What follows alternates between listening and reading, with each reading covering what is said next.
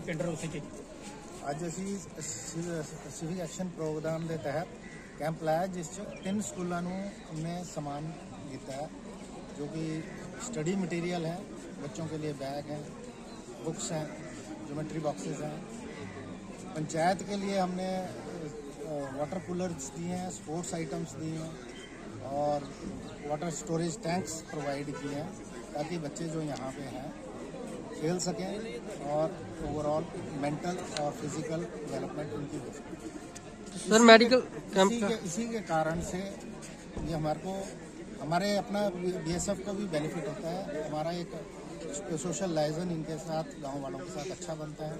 कोई भी anti social elements या कोई गाँव में कोई अनपਛਾਤਾ आदमी पाया जाता है तो ये सानू इंफॉर्मेशन मिलती है जो साढ़े लिए बहुत काम है।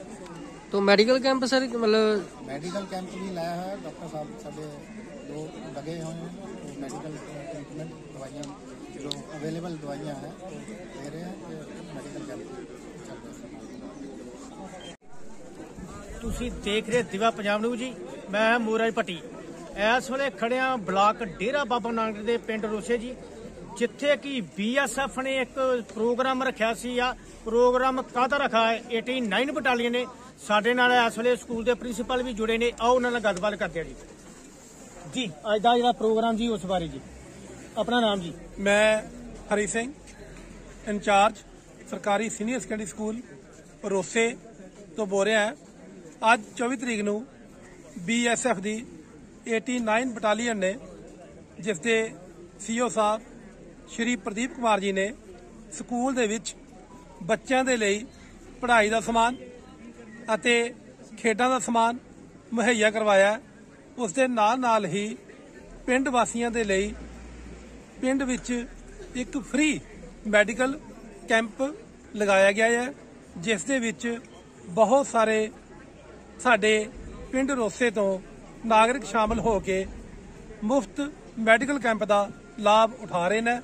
ਅਤੇ ਸਾਡੇ ਸਕੂਲ ਨੂੰ ਸ਼੍ਰੀ ਪ੍ਰਦੀਪ ਕੁਮਾਰ ਅਗਰਵਾਲ ਕਮਾਂਡੈਂਟ ਜੀ ਨੇ ਜੋ ਸਮਾਨ ਮੁਹੱਈਆ ਕਰਵਾਇਆ ਮੈਂ ਉਹਨਾਂ ਦਾ ਆਪਣੀ ਤਰਫੋਂ ਅਤੇ ਆਪਣੇ ਸਕੂਲ ਦੇ ਸਟਾਫ ਤਰਫੋਂ ਤਹਿ ਦਿਲੋਂ ਧੰਨਵਾਦ ਕਰਦਾ ਹਾਂ।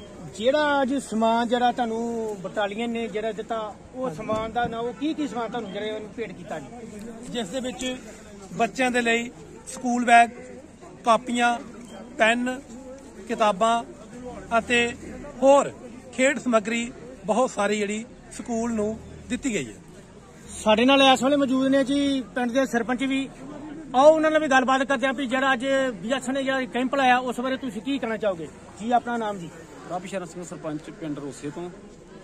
ਇਹ ਪਹਿਲਾ ਕੈਂਪ ਨਹੀਂ ਹੈਗਾ। ਬੀਐਸਐਫ ਨੇ ਸਮੇਂ-ਸਮੇਂ ਦੇ ਮੁਤਾਬਕ ਅੱਗੇ ਵੀ ਮੇਰੇ ਹਿਸਾਬ ਦੇ ਨਾਲ ਤੇ ਚੌਥਾ ਕਿ ਪੰਜਵਾਂ ਕੈਂਪ ਆਇਆ ਰੋਸੇ ਸਕੂਲ ਦੇ ਵਿੱਚ।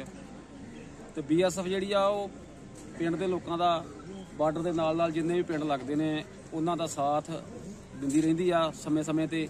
ਜਿੱਦਾਂ ਵੀ ਕੋਈ ਕਿਸੇ ਨੂੰ ਵੀ ਕੋਈ ਜ਼ਰੂਰਤ ਹੁੰਦੀ ਹੈ ਕਿਤੇ ਜ਼ਰੂਰਤਮੰਦ ਨੂੰ ਤੇ ਆਪਾਂ ਉਹਦੀ ਵੀ ਮਤ ਸੀਓ ਸਾਹਿਬ ਨੂੰ ਕਹਿ ਕੇ ਕਰਵਾ ਲਈਦੀ ਆ। ਬਾਕੀ ਅੱਜ ਇਹਨਾਂ ਸਾਡੇ ਰੋਸੀ ਸਕੂਲ ਦੇ ਵਿੱਚ ਜੋ ਸਮਾਨ ਦਿੱਤਾ ਹੈ, ਉਹਦੇ ਵਿੱਚ ਖੇਡ ਸਮੱਗਰੀ ਆ, ਕੁਝ ਕਿਤਾਬਾਂ ਨੇ, ਕਾਪੀਆਂ ਨੇ ਜੋ ਕਿ ਬੱਚਿਆਂ ਨੂੰ ਪ੍ਰੋਵਾਈਡ ਕਰਵਾ ਦਿੱਤੀਆਂ ਹਨ।